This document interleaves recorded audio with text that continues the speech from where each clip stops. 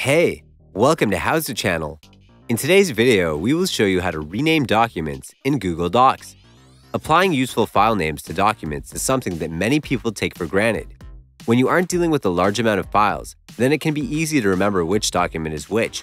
But you may need to know how to rename a Google Doc as your Google Drive starts filling up with files and it becomes more difficult to determine which file is the one you want to edit.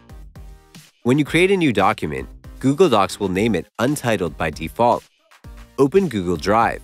Select the document that you need. Right-click on it and choose Rename from the list. A pop-up window will appear. Edit the file name.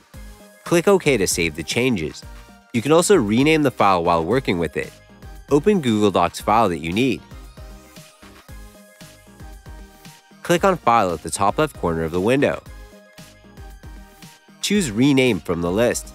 The name at the top of the file will be selected. Edit the name. You can also just double-click on the name of the file at the top of the document. It will activate the edit mode, so you can rename the file. That's it. Thanks for watching the video.